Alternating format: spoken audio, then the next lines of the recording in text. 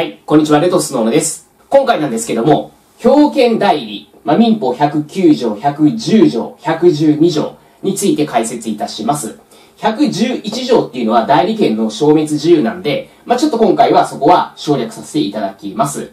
で、今回、この表権代理、まあ、非常に重要な内容なんですね。で、何が重要かっていうと、考え方が重要なんですよ。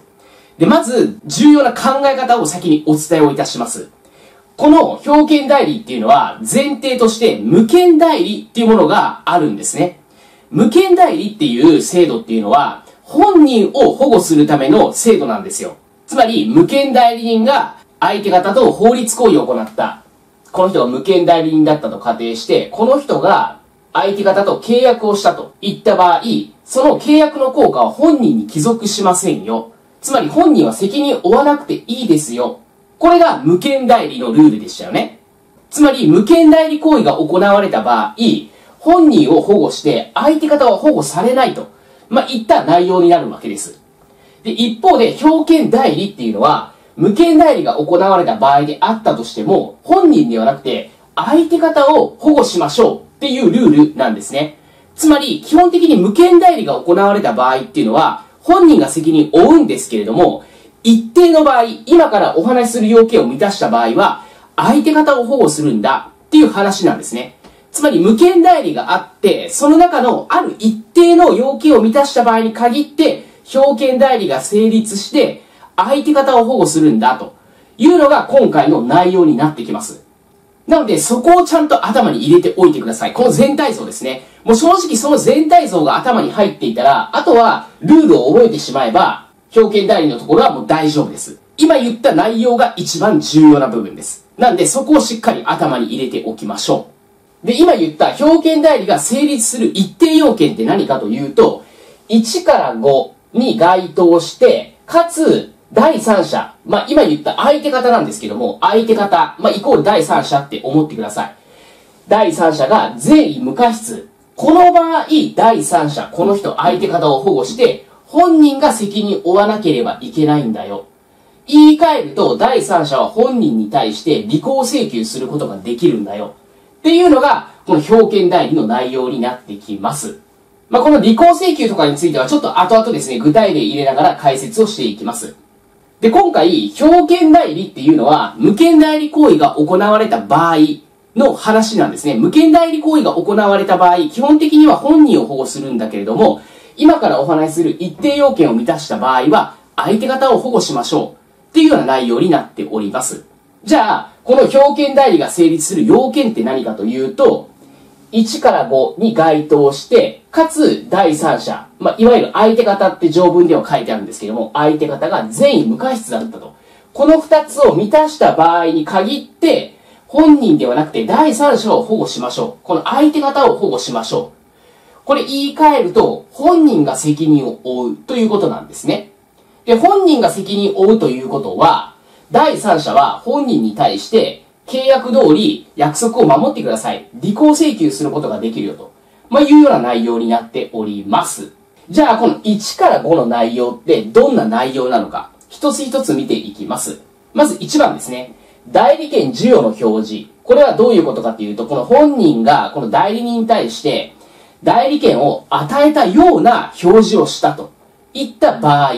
これ例えばなんですけども、本人がこの代理人に対して白紙委任状を交付したと。ここで言う白紙委任状っていうのは、まあ、誰に対して、まあ、どんな内容を代理するかっていうのを何も記載していない委任状なんですね。例えば、この代理人に対して、下記の行為を委任する。で、下記行為ってどのような行為かっていうと、この本人が所有する不動産を売却する行為。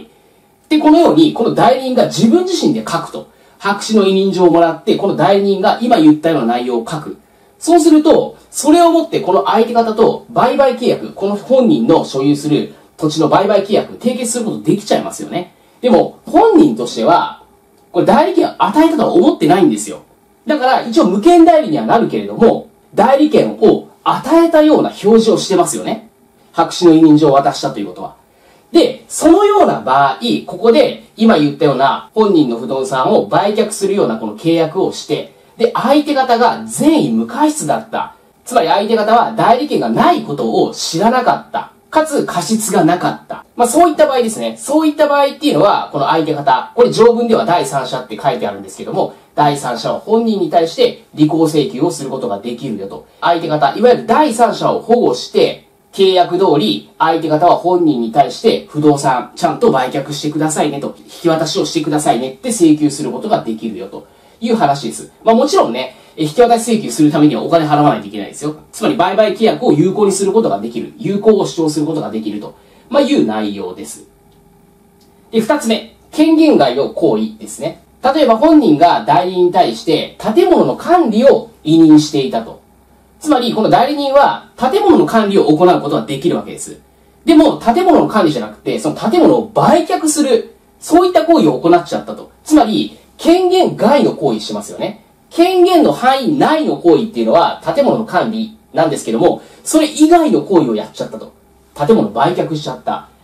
そして、第三者、相手方、この人が、その権限外の行為をしているということについて、善意無過失だった。この善意無過失ってちょっと言い換えるとですね、代理権があると信ずべき正当な理由があるときっていう言い方をするんですね。まあ、これイコール善意無過失って置き換えてもらって大丈夫です。で、このように相手方が全員無過失だった場合、この場合は相手方を保護して相手方は本人に履行請求することができる。つまり、建物売却ちゃんとしてくださいねって主張することができると、まあ、いうことですね。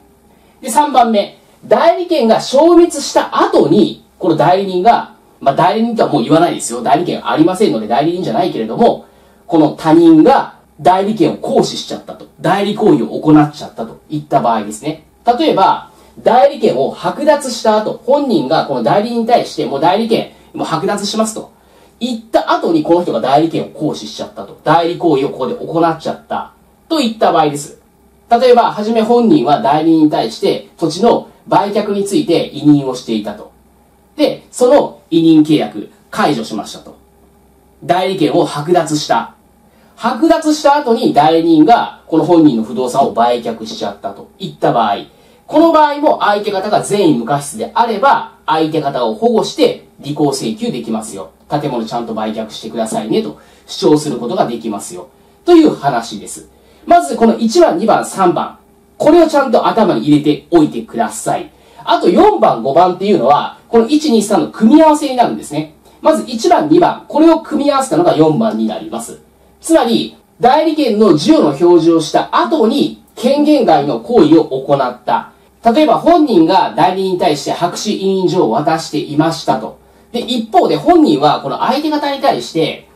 建物の管理をこの人に任せているんだよっていうことを伝えていたと。そういった状況で代理人がその白紙委任状に、まあ、自分自身は建物の売却も依頼されているって自分自身で書いちゃって、で、ここで建物の売買契約を締結しちゃったと。いった場合です。相手方としては、あれ、建物の管理の委任されたって言われてたけども、委任状を見ると、建物の売却についてもこう書いてあるわけですよ。ってことはもうこれ、あなるほど。本人は代理人に対して、あ、建物の管理だけじゃなくて、建物の売却についても、まあ代理権を与えたんだなって思っちゃいますよね。まあそういった善意無過失だった場合、この場合も相手方を保護して履行請求できるよっていうのが4番の内容です。で、5番の内容。5番は、代理権が消滅した後に権限外の行為を行った場合です。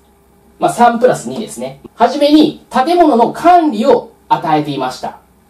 はじめに本人は代理人に対して建物の管理を委任していたと。で、代理権もらっていて、建物の管理を行っていた。その後本人は、もう代理人に対して、もう建物管理やらなくてもいいですって、まあ、委任契約解除して、代理権を剥奪しました。で、剥奪した後に、この代理人が建物の売却、いわゆる権限外の行為を行った。まあそういった場合、そういった場合、相手方が善意無過失っていうのであれば、相手方は本人に対して履行請求できるよ。建物売却してくださいねと主張することができるよ。っていうのが5番の内容です。なので、まず1、2、3を頭に入れていただければ、あと4、5については、これの組み合わせなんで、まあそれほど難しくないんです。